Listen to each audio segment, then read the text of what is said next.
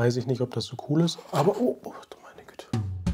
Hallo liebe Leute und herzlich willkommen zurück zu einem neuen veganen Produkttest. Ich bin sehr gespannt heute auf ein paar Exoten, die ich dabei habe. Ich möchte gerne nochmal ganz liebe Grüße rausschicken an Anne. Sie hat nämlich beim letzten Gewinnspiel einen Rewe-Gutschein gewonnen und hat mir eine E-Mail geschickt und hat gesagt, weißt du was, ich möchte dir den gerne zurückschenken, einfach für die ganze tolle Arbeit, die ich hier auf dem Kanal mache mit den Produkttests etc. Und sie hat gesagt, sie würde sich freuen, wenn ich das Ganze annehme, damit ich mit diesem Geld auch wieder neue Produkte kaufe und sie für uns testen kann hier auf dem Kanal, wer sie das sehr wertschätzt. Da konnte ich nicht anders als zu sagen, ja, okay, dann mache ich das so und vielen, vielen Dank nochmal. Habe ich nicht mit gerechnet, aber genau das schätze ich einfach an unserer Community, dass das Ganze hier ein Geben und ein Nehmen ist. Die anderen drei Personen, die gewonnen haben, die haben Gott sei Dank ihre Gutscheine alle heil bekommen. Jetzt habe ich äh, den Rahmen leider ein bisschen gesprengt vom Gutschein, aber das ist nicht schlimm, denn ich habe ein paar neue Produkte hier am Start und auch schon welche für einen nächsten Produkttest. Wir starten jetzt mit dem ersten Produkt und das ist folgendes. Wir haben hier Green Force, den veganen Leberkäse, aber nicht als ganzes Stück, so wie es ihn schon mal gab, sondern in Scheibenform, also als Aufschnitt. Das habe ich auch in der Weekly Vegan schon mal angeteasert. Vegan Leberkäse so an sich auch noch nicht probiert. Wir haben hier das Ganze auf Basis von Erbsenprotein, das ist schon mal gut. Hier ganz klar deklariert, ohne Zusätze. Das ist auch ganz wichtig. Immer mehr Konsumenten gucken jetzt auch auf die Inhaltsstoffe, gerade bei den veganen Ersatzprodukten. Weltbewegend. Bei dem Erbsenprotein ist noch Ackerbohnenprotein dabei. Wir haben ah, die beiden üblichen verdächtigen Verdickungsmittel, alle Mann zusammen auf 3, 1, 2, 3. Karagen und Methylcellulose. Das ist natürlich nicht so gut. Wir haben ein bisschen Cognac drin, eine Sojabohne Abzug auf jeden Fall. Man sollte natürlich vorne auch richtig lesen, weil ich habe natürlich überlegt, okay, wenn Sie das da vorne hinschreiben, warum machen Sie es dann rein? Aber hier steht ohne Zusatz von und natürlich ganz klein dann Konservierungsstoffe und Geschmacksverstärker, heißt aber nicht ohne Zusatz von Zusatzstoffen. 169 Kilokalorien, da waren aber hier 14 Gramm Fett drin im Verhältnis zu 7,2 Gramm Proteine. Das ist ein Verhältnis 1 zu 2 bezüglich Protein und Fett. Ich glaube, der klassische Leberkäse ist schon sehr fettlastig. Mal gucken, wie er sich macht. Wir machen das Ganze auf. Nehmen natürlich eine erste Nase. Oh, das sieht doch, guck mal, schon mal lecker. Da kommt schon ein richtig kräftiger Geruch raus. Erste Assoziation ist definitiv so ein bisschen Mortadella. Auf jeden Fall wabbelig, lässt sich aber gut zersetzen. Das sieht mir ganz stark danach aus, als wenn es einfach eine dunklere Variante ist von Mortadella. Man riecht leichte Proteine raus, also Ackerbohne und Erbse. Aber ich habe auch schon gefühlt, keine Ahnung, 100 Produkte getestet hier oder noch mehr sogar. Absolut Mortadella ähnlich. Leicht nach Erbsen und nach Ackerbohnenprotein auch. Es ist in der Hand schon ein bisschen fettig, aber nicht irgendwie sapschig oder so. Saftig würde ich jetzt erstmal behaupten. Ist kein bitterer Beigeschmack oder Nebengeschmack außer dem Protein jetzt. Man schmeckt ein bisschen, habe ich das Gefühl, ein bisschen Raps raus.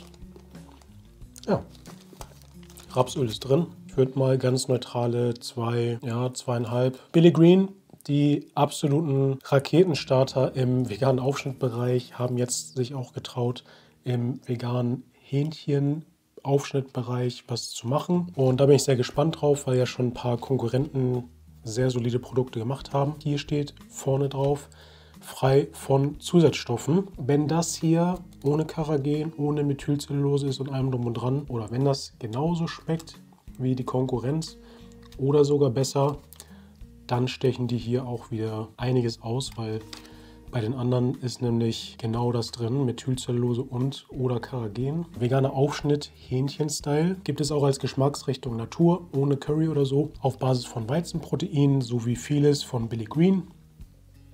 Oh, ich glaube, das hat sich gerade gereimt.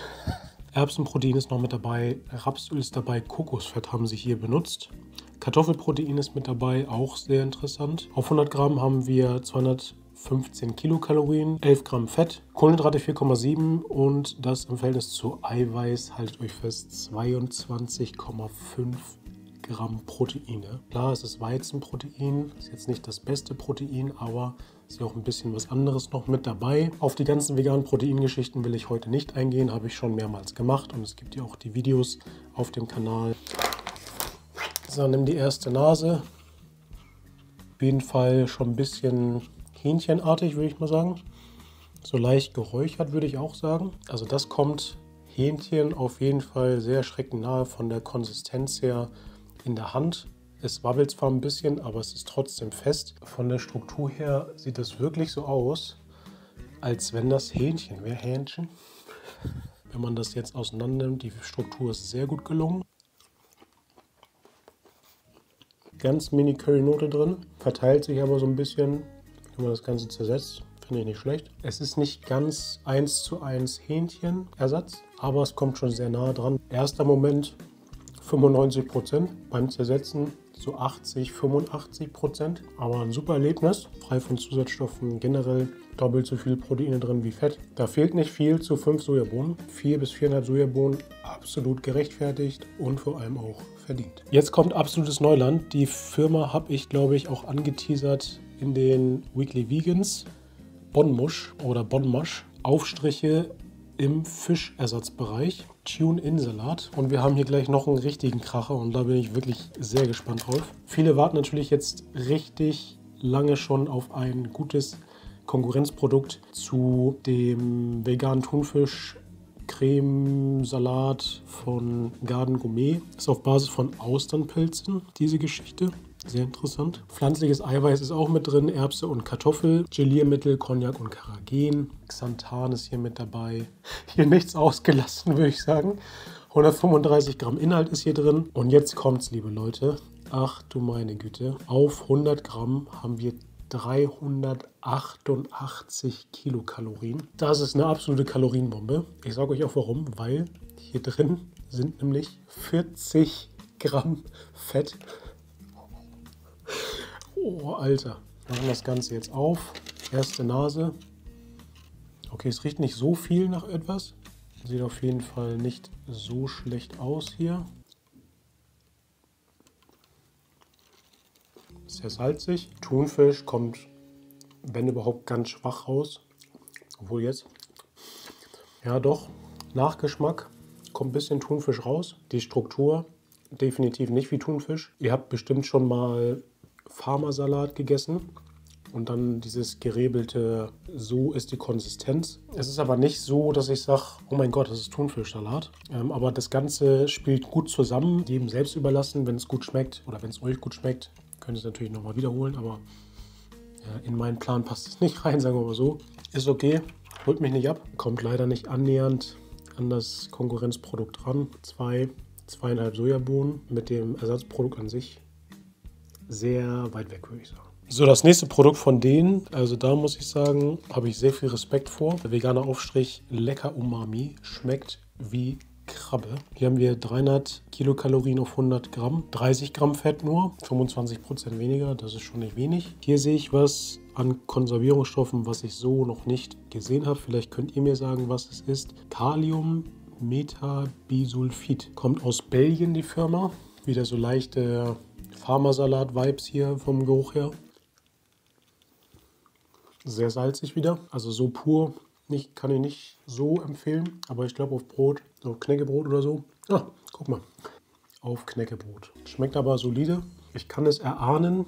Es ist wie so ein Pharmasalat ohne Früchte drin und sehr salzig. Leicht fischig. Kann man eher mal probieren als die andere Geschichte. Zweieinhalb bis drei Sojabohnen, aber ist auf jeden Fall Luft nach oben. Ist aber okay.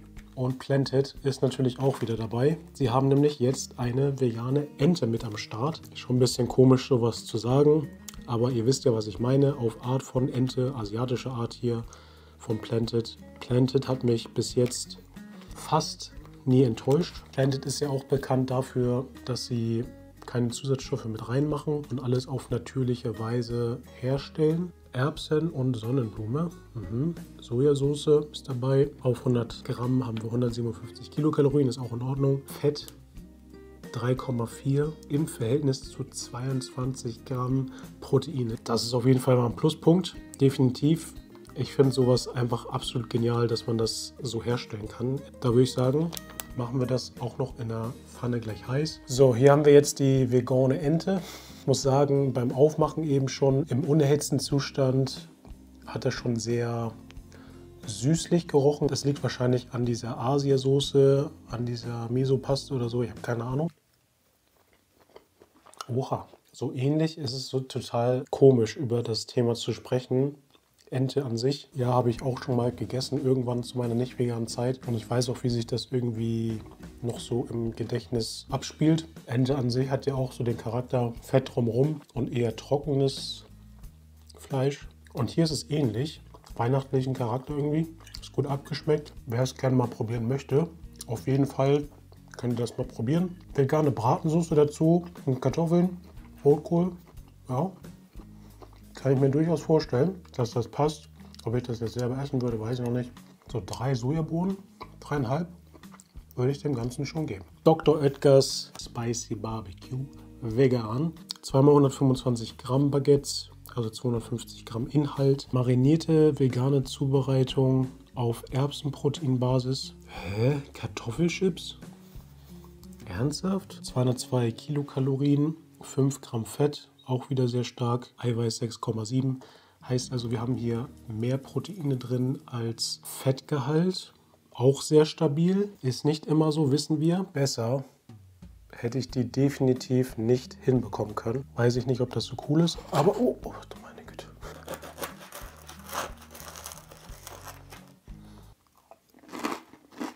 Von außen knusprig, nicht zu hart von innen noch schön weich. Es ist sehr spannend, was im Mund passiert. Ein bisschen knusper, ein bisschen weiche Geschichten. Die Soße spielt gut zusammen. Barbecue kommt auch raus, ist nicht zu dominant.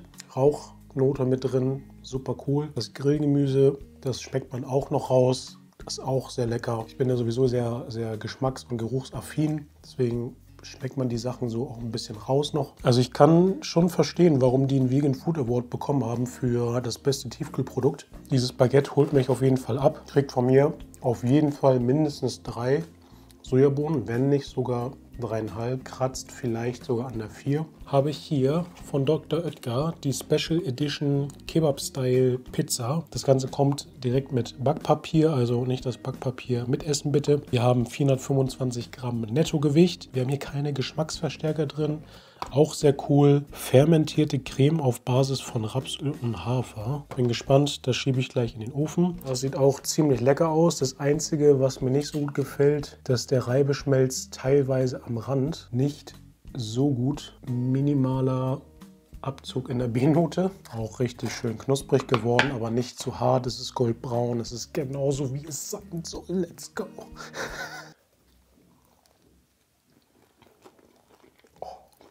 Dr. Edgar ist eine Ansage. Cremig, knusprig, die Soße super lecker. Mit dem Kebab-Style kann man auch erahnen. Doch. Die haben auch schöne Würze. Das bringt ein bisschen Bums in die Bude. Das überzeugt mich, holt mich ab. Fast perfekt gewürzt. Hätte vielleicht noch ein bisschen mehr Gemüse sein können. Fehlt nicht viel zu einer 5. Und da ich keine 4,75 gebe, gebe ich hier auf jeden Fall 4,5 Soja. Also die gefällt mir hier richtig gut. Und ich habe vor nicht allzu langer Zeit ganz viele neue vegane Joghurts probiert. Wenn dich das interessiert, dann klick gerne mal hier auf dieses Video. Viel Spaß dabei, guten Hunger und bis zum nächsten Video. Ciao.